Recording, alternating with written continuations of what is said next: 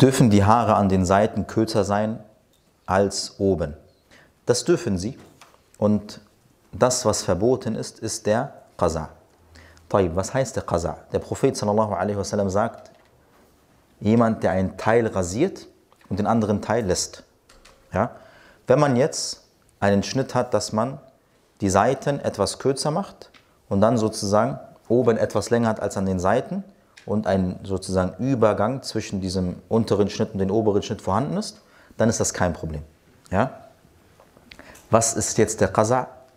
Es gibt beispielsweise diesen Schnitt Undercut. Ja? Undercut war was?